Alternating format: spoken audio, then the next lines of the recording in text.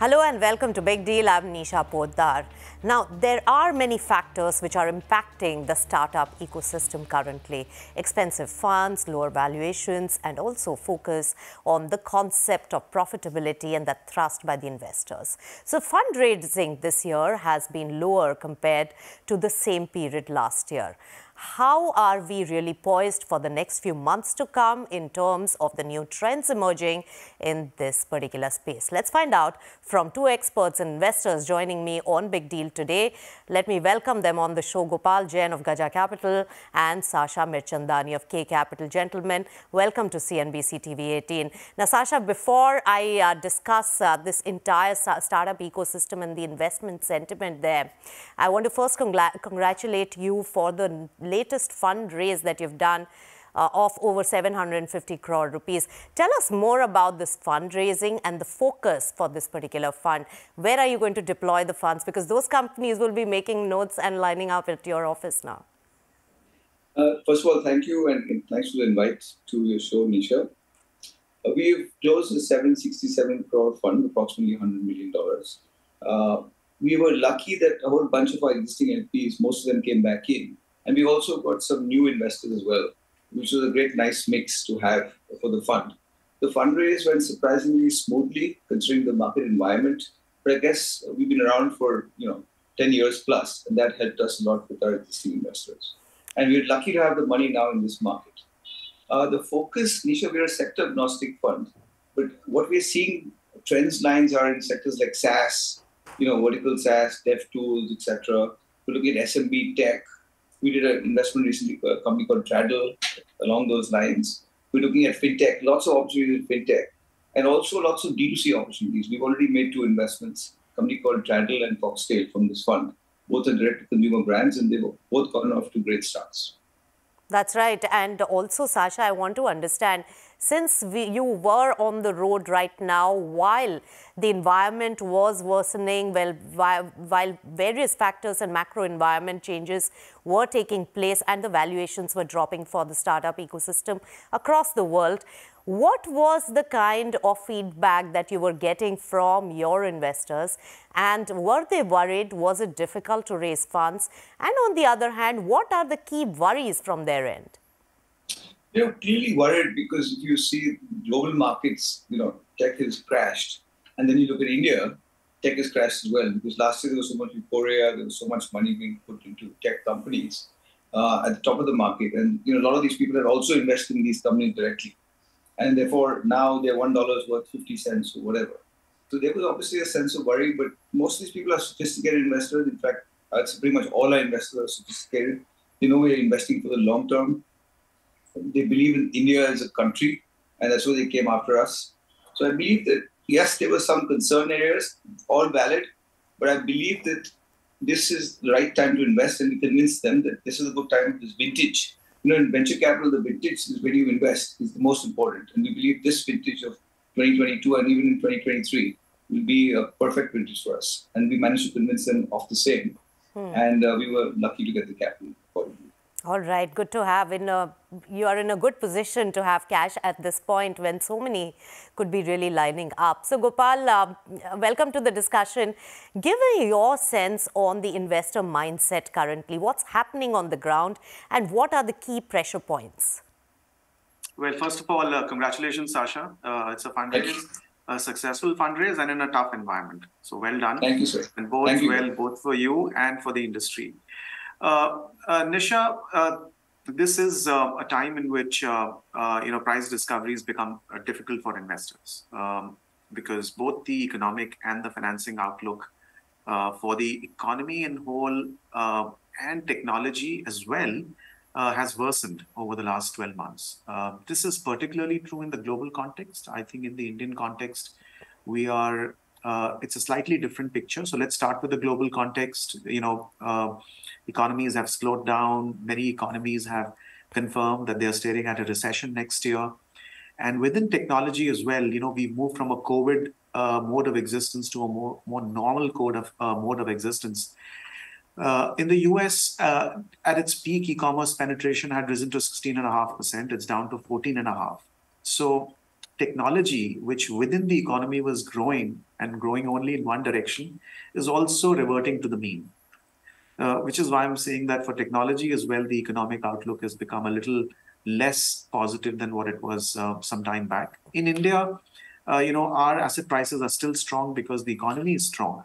But any investor which is plugged in the global economy is feeling uh, nervous right now. Yes. So people are expecting valuations, uh, uh, lower valuations, but uh, many companies are holding back. Um, those who have capital uh, are holding back. Some people people are confused. Is this a passing shower or is this a, is this climate change?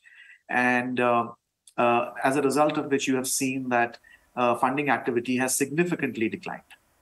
That's right, uh, Gopal. But I want to understand from you how do you see the valuation mismatch uh, going further? Because uh, some of the companies which raised funds some time back are going to run out of cash. They will have to come to the market again. And there will be a requirement of some sort of a solution, either a fundraise or an IPO, which looks like a less positive, uh, you know, proposition at the moment for the startup ecosystem. So how do you see the valuation mismatch? Is that the biggest challenge currently? And what are those nuances that you are highlighting at the moment when anybody comes to you for investments?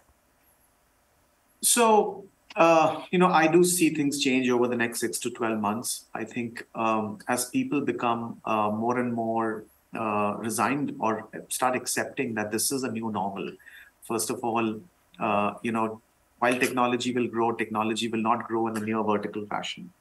Secondly, uh, capital is no longer cheap, uh, and capital may not become as cheap as it was a couple of years ago. It may take a long time for capital to become as cheap. And in a world where capital has some value, uh, profitability becomes important. Uh, so I think there is still a very strong market for uh, A-list companies. Uh, and I think A-list companies need not think about timing. Mm. There's there's a there's a substantial amount of dry powder uh, within the venture capital private equity ecosystem. Uh, you know, investors like us continue to look for A-list companies and are still prepared to pay for growth. Uh, still, technology is real. There's that. There's no doubt about that. The only question is the trajectory. And secondly, the trajectory of companies. Uh, earlier, there were some companies that were not thinking of profitability at all. There's some companies that were thinking of profitability in three to five years. But in an environment where capital has value, profitability needs to become a nearer term pursuit. That's right. Path to profitability and having the concept of profitability is uh, very important, and that I hope is getting incorporated. Uh, but Sasha, uh, at your stage, where the stage at which you invest, what are the conversations? Is the venture capital community feeling the heat already? There are two parts to the answer, uh, Nisha. In the part that we play, which is the first check, and you know, seed and, and let's say see early Series A, uh, there's only been a marginal correction uh, of valuations, not dramatic as I was hoping.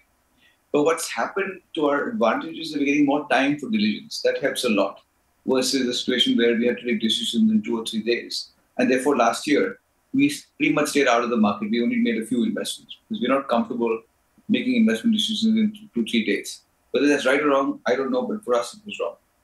However, as Gopal already said, in the growth stages, things have definitely slowed down. There's more time for diligence as well there. Valuations have come down to sensible levels. Uh, and what's happening is the flight to quality. The best companies are still raising capital. We are soon to announce one more fundraise for a large fundraise, one of our companies. And we had five or six term sheets for that company because it was almost profitable and growing in the right direction. And like I said, revenue is vanity, profit is sanity, but cash is king. And we are cash is taking center stage. Right, cash is uh, definitely taking center stage and it is also becoming more expensive, Sasha, in the current environment. Uh, so, uh, valuation wise, how are you seeing the dynamics at a very early stage uh, for a company? Because it is very difficult to value companies at that level when you're betting on new entrepreneurs. So what are the new aspects being incorporated in eligibility criteria in a much more tougher environment for assessing and betting your money there? You know, for what for what we do, it's pretty much the same because we're coming in so early. We can't talk to the entrepreneur, ask him or her for a profit plan. We're coming in first check. But what we're seeing is in our own portfolio as the companies progress uh, and they raise larger rounds of capital 10, 20, 30, 50, 100 million dollars, that's when they need to be you know, in front of investors with a proper plan of profitability, is what I'm saying. And that's yes. very important. You don't have to be profitable, but you've got to have a path to profitability. And a lot of the entrepreneurs in our portfolio have understood that. Not only have they raised the capital, but I see them raising capital even in 2023 in a tough market because they've made that those changes in their businesses. It's not easy, right? Because last year we were asking these entrepreneurs to grow, grow, grow, hyper growth. And now we're telling them to slow down and move to profitability on a dime. Not so simple, but the best founders realize that they got to be flexible. And that's the trait we like, right? We believe founders who are flexible, open minded, and persistent, especially in these uh, environments and are willing to take hard decisions. You know, entrepreneurship is hard, as every founder listening to this will agree. And the, the founders willing to take hard decisions are the ones that are the most backable in this environment. That's right. And uh, Sasha, definitely the concept of profitability and path to profitability is now coming in. That's a big change, even at an early stage, as you mentioned. Uh, so that's a very, very big change in uh, the overall startup ecosystem, while a lot of companies earlier used to not talk about that or at least evade that particular question, even when they entered the public market. So that's a big change. But we will talk about um, the exit opportunities and making profits and returns out of the investments. What are the op options left there? And what are the key challenges and trends that are emerging in the startup ecosystem going forward? Stay tuned to Big Deal.